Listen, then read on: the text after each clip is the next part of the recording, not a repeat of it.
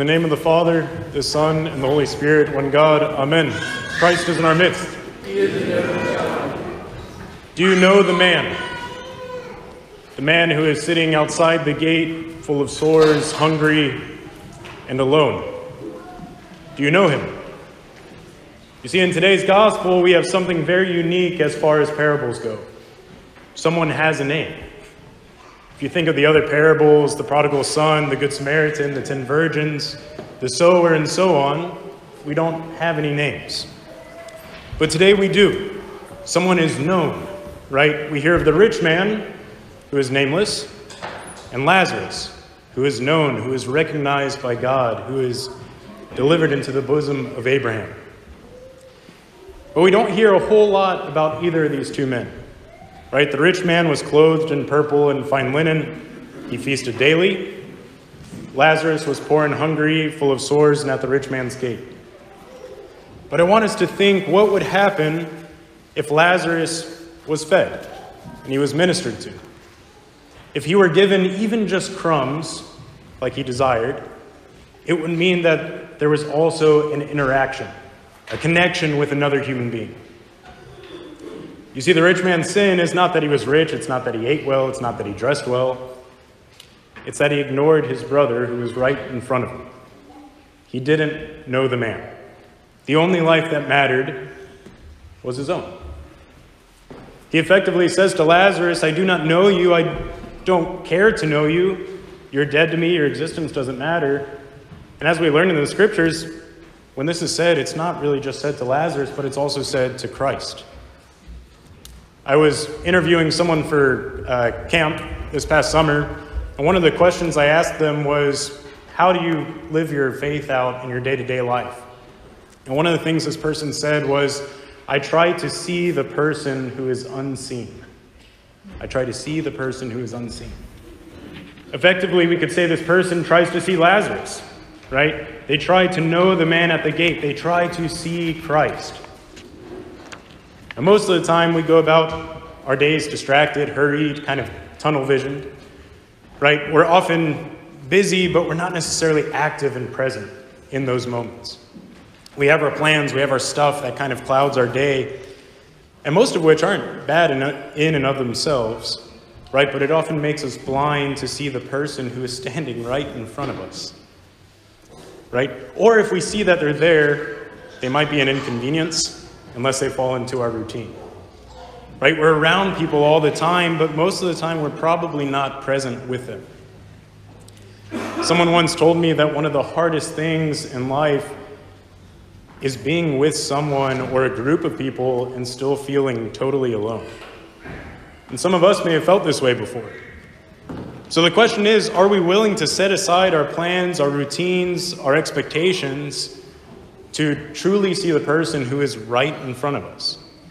Are we willing to set aside our plans to truly see Christ standing right in front of us? If we begin to pause for this human interaction, we invite God to act right then and there. And this moment becomes not just a human interaction, but a divine one. God is present, God is there, God is working. That sacrifice to be truly present with someone, that self emptying, that connection, that communion, allows God to reveal himself to us and to them, through us and through them. If you want to witness your faith to somebody, truly be with him. That's one of the most Christ like things we can do. Right? It allows us to know our neighbor, it allows us to know God, which in turn allows us to know ourselves. So we have to ask ourselves are we willing not just to sit with our neighbor, but are we willing to sit with Christ? That's what this is about, or is he also one of our inconveniences? Are we willing to see him present in front of us? So we have to ask do we really believe in him? Do we believe that he's alive in us, in our neighbor? Or is he just a man in a storybook? Christ tells us in the scriptures, again, that when we minister our, uh, to our neighbor or we ignore our neighbor, we do that very thing to Christ. Right? The rich man ignored Christ at the gate. In today's gospel, Abraham tells the rich man that those who ignore Moses and the prophets and the scriptures wouldn't be convinced to repent even if someone were to rise from the dead. And we see this play out.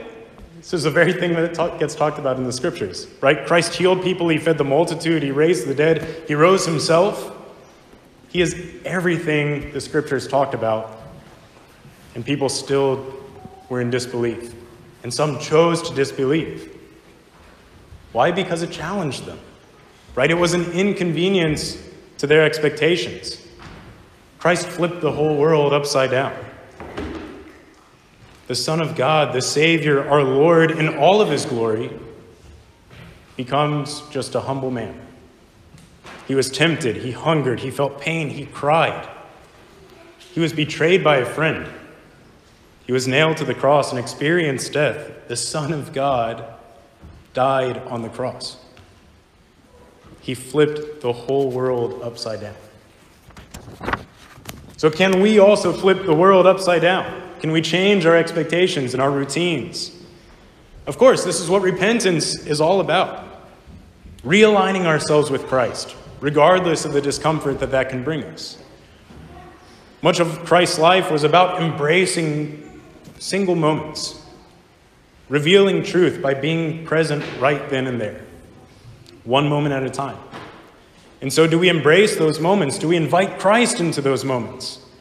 We say Christ is in our midst, we say Christ is risen, but do we see Christ in that person that we're saying these things to? Right? Christ is in our midst. He's here, He's alive, He's right in front of us. And we often ask, Where is God? But we ignore Him. But if we seek, we will find. Right? When we say Christ is in our midst in just a little bit and we turn to each other, Seek him. See Christ in the person right there who you are making this proclamation. Embrace that moment. Now, if we go around and try to kiss people in our day to day lives, cops may be called on us, so maybe that's not the best way to go. Uh, maybe taken a little too far too soon. But, and maybe even if we say Christ is in our midst to everyone that we come about, maybe that may come off a little strong. I, I don't know.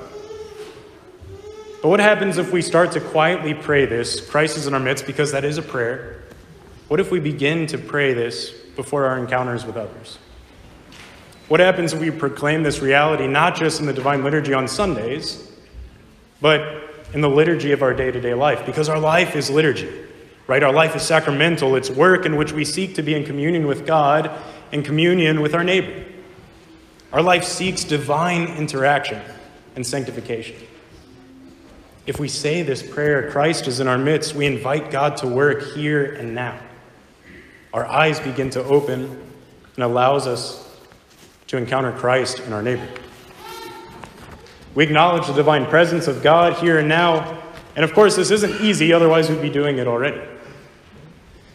It's going to be uncomfortable for most of us, it'll challenge us, and that's okay. Maybe when we're feeding the hungry, we seek to recognize that there's actually a human being there, right? Not just a hand that's reaching out that we're filling with money or food, but recognizing there's a person made in the image and likeness of God. In school, maybe it means that we're engaging with more than just our friend base, right? Which means sacrificing some time with our friends, not all of the time, but some of the time to cultivate new relationships. At work, it can mean to pause to encounter your coworker or a customer, right? Which may, in reality, result in staying another 10 minutes when you're tired and ready to be home. And maybe that's a sacrifice we need to make. At the grocery store, something as simple as that, seeing the checkout clerk as not just someone who's there to serve you, but as someone made in the image and likeness of God. On a walk, it means not pulling out our phones right away to avoid eye contact with the person walking by us. I do that several times. but to actually see the person, to engage with that person, doesn't have to be a 10 minute conversation, doesn't have to be a 10 second conversation, but that connection right then and there. Especially after the last two years, we've probably gotten really comfortable with being disengaged with each other. And maybe before then, we were still weren't that great at it. To engage with people can be uncomfortable. Christ's crucifixion was beyond uncomfortable, and it was the result of him engaging with his creation. But through his crucifixion, Through the uncomfortable, joy comes into all the world. Through it, there is salvation. And our neighbor is our salvation. Through those moments with our neighbor, joy can come into all the world. Through those moments with our neighbor, a salvific act takes place right then and there. It's uncomfortable, and maybe even in the beginning, it doesn't feel authentic when we try to have those moments. And that's okay. As Saint Ambrose of Optina uh, us, he says that if you find that there is no love in you, but you want to have it, then do deeds of love, even though you do them without love in the beginning. The Lord will see your desire and striving and will put love in your heart. And that's what this is all about. Learning to love our neighbor, learning to love God, and not just our neighbor who fits into our schedule, not just God when he fits into our schedule. Our lives are about transformation, growth, becoming more and more Christ like so that it is not I who live, but Christ who lives in me. Aligning ourselves with the will of God. Christ ate with sinners, and of course, we're sinners as well, but for us, maybe that can mean spending time with somebody we don't necessarily agree with, but not for the sake of arguing with them, but just being with them. Christ found the woman with the issue of blood in the crowd. Right? For us, that can mean seeing that person who is unseen, being the one to connect with the person who is ignored, who is outcast, seeing the man at the gate. Even in our homes, we can probably be more intentional about the time we spend with our family and our friends. May we seek to know the man at the gate. But we don't just seek to know the man at the gate, we seek to be the man at the gate. Right? Lazarus hungered, he sought to be at the table. He was a humble man who just desired life. May we have that same humble hunger and desire as we seek to know God and we seek to know each other. May we hunger for life itself as we approach the chalice in just a little bit and receive the bread of life. May we seek to know the man at the gate and become the man at the gate. Embrace the uncomfortable, embrace the little moments, seek Christ in the person who is standing right in front of you, and allow God to work. Amen. Christ is in our midst.